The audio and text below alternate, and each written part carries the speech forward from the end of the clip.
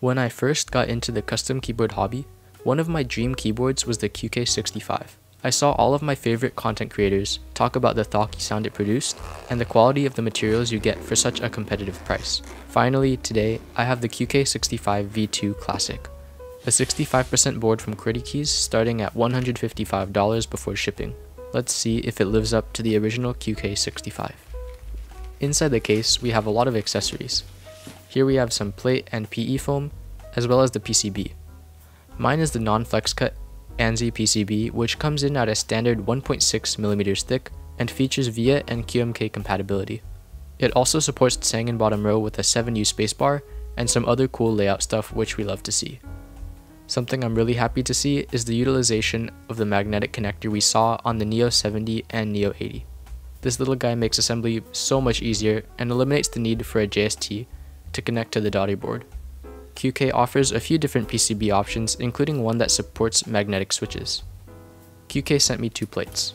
One is POM and the other is aluminum, so we'll be able to see how this board sounds with both. I appreciate the lack of flex cuts on both of the plates. Here we have the included Neo stabs. I quite like these as they're fairly simple to install and are easy to tune. Finally, we have the case. In it, there's a couple different case foam layers. My unit has a copper weight, a gold bottom case, and an anodized black top case. Altogether, it makes a super clean and elegant looking case, and the finishes are smooth and completely flawless. The silhouette of the case is rather simple, but on the back, there are some interesting edges that are visible with direct light. One of the edges continues around the whole case and is visible from the side and front, giving it some design. In the middle of the rear weight, there's a slot for a magnet to attach, which has become kind of a trademark for a lot of QK boards. Mine is the blank version. On the inside of the bottom case, there's a brushed stainless steel weight that covers the two batteries powering the Bluetooth and 2.4 GHz wireless connectivity. In addition to the case, there's a separate box of accessories. There's a ton of stuff like a 2.4 GHz dongle, gaskets, screws, alternate colored feet, extra clips for the case, the magnetic badge for the back of the case, an extra ribbon cable, keycap and switch pullers, a rather fancy screwdriver, and finally a coiled cable that looks surprisingly good. One of the cool features of this board is how the top and bottom cases interlock with each other. The top case has these plastic clips that you can access under the rear feet, which is convenient for taking apart and assembling the case, but I will admit it feels slightly cheap compared to something like screws or even the ball catch system we saw on the Neo 80. I'm glad that they included extra clips just in case though. The bottom case has these little foam things that act as force break stickers. I found that they helped reduce the metal on metal ping a whole lot. Alright, let's move on to the build. I have the Neo stabs installed on the PCB, and they're lubed with 205G0 on the housings and dielectric grease on the wires. In this sequence, I have the PCB dumbbell gaskets installed, but I will have a sound test using the top mount as well. Here we have our plate foam, and on goes the plate. As you can see, I'm installing the POM plate, but I'll have aluminum plate sound test as well. For switches, I'm using Akko V3 cream yellows, hand lube with 205G0. These are super smooth and they complement the sound of the board well. For top mount configurations, you'd screw the plate into the top case first, but since I'm using the gaskets in this clip, the PCB just drops into the bottom case. On goes our top case, which I just press down and it clips in.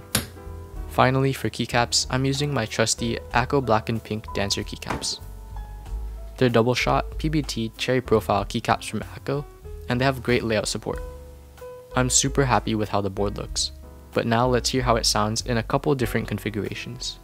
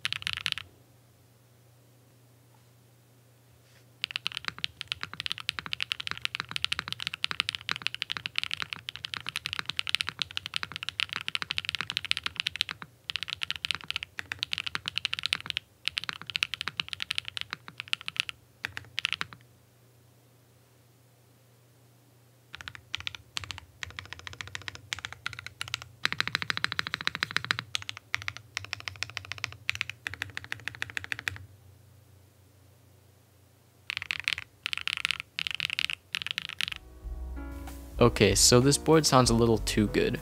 I remember when the original QK65 came out, and it sounded insane with foams, but pretty thin and dull without.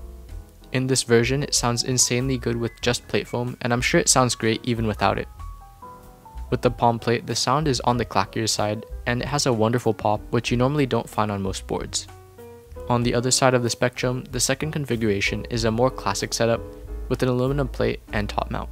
I thought this configuration would end up sounding hollow and dull, but it ended up exceeding my expectations, with the signature clacky and dry sound associated with top mount keyboards.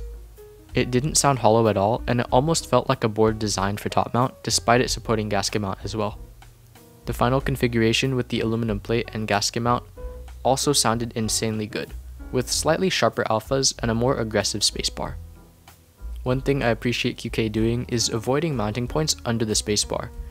This keeps the spacebar from feeling too stiff and allows it to sound really good. Overall, the sound is much better than I initially expected and it sounds significantly better with minimal foam than the original QK65. In terms of feel, the board is very average, with a decent amount of gasket compression, but not a whole lot of assembly flex. So what do I think of this board? Well, I wasn't a huge fan of the QK65 V2 and its screen, but I'm happy to say that the classic version is one of my favorite boards to date, and I would highly recommend it to someone looking for a board with slightly more features than the Neo 65.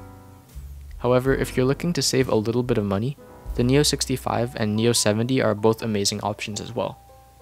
Anyway, that's all I have for you guys today. Thank you for watching, and thank you QWERTY Keys for sending out the board. See you guys later. Bye!